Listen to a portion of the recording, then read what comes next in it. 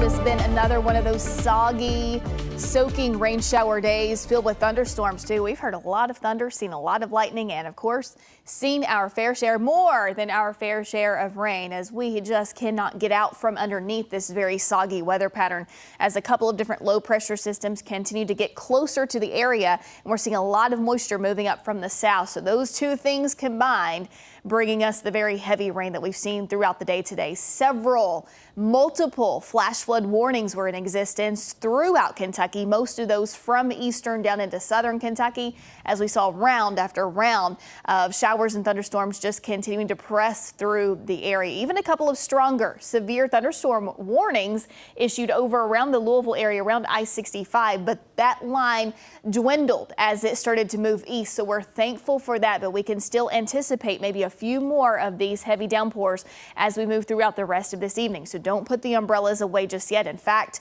keep that around for tomorrow and the beginning part of the work week because we still have this same weather pattern.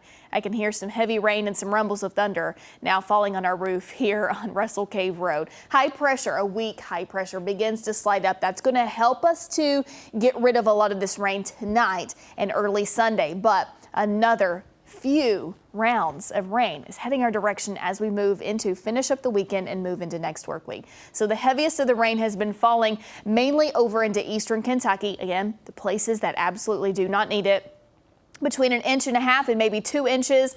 There have been some isolated spots that have picked up as much as three inches of rain moving down just south of Somerset, southwestern part of Pulaski County, northern part of Wayne County hit very heavy with some uh, high amounts of rain today. Very, very heavy amounts of rain. And so if again, you can see Lexington picked up about a tenth of an inch. We're receiving more now. Lawrenceburg around two tenths. There were just a few spots that really just didn't see much, but most everyone has seen rain today. And over the past two days. Again, same places. Eastern, southern, southeastern Kentucky picking up the heaviest amounts of rain. Again, between maybe even two and four inches of rain. Couple of spots, like I just mentioned, northern Wayne County even around five inches. These were radar estimated. So again, very heavy rain. Therefore, we still have that flood watching effect until midnight.